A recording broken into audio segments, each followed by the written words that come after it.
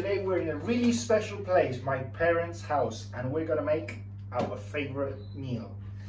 This is baby lamb.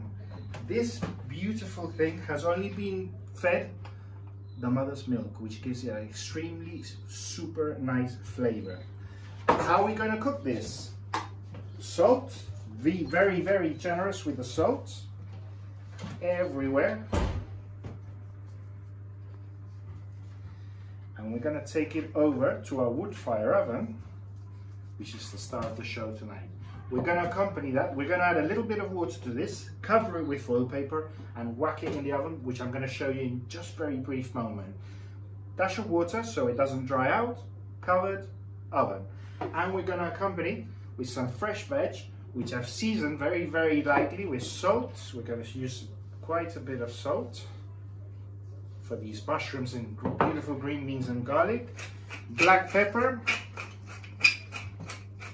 and then in a little bit, just before it goes in the oven, I'm to throw in some olive oil and balsamic vinegar. So stay tuned. So much water we put in guys, okay? Just enough to cover the bottom.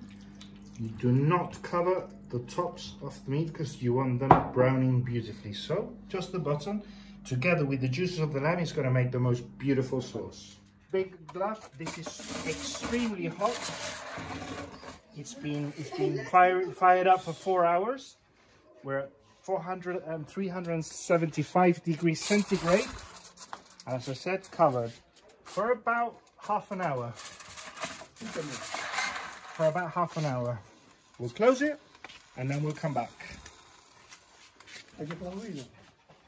No, right, foodies, we're almost there. Half an hour has passed. We're taking out another whole point now.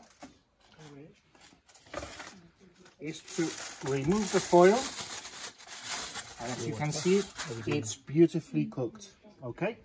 The idea now is to get some color. We've got it cooked, and now we're going to get some color. So, we'll take the other one out. And do the same.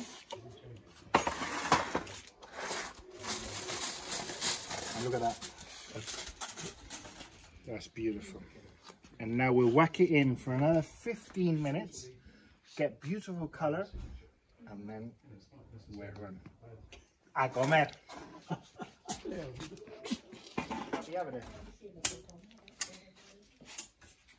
right, foodies. We're ready. Look at that beautiful thing. That is magnificent. I don't think I need to speak anymore to the table. I'll see you shortly.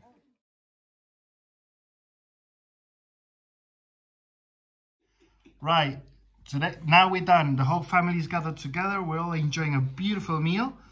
So yeah, bon appetit. Bye. Cheers. Thank you. Bye.